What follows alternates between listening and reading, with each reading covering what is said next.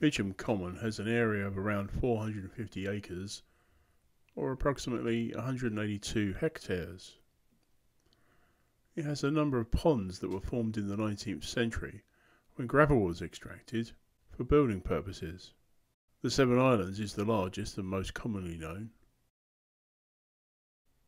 And there's the One Island Pond.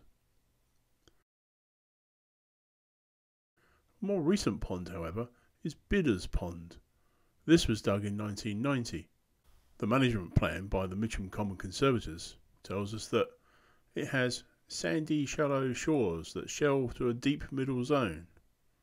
There is little aquatic vegetation, but good amphibian and aquatic insect habitat.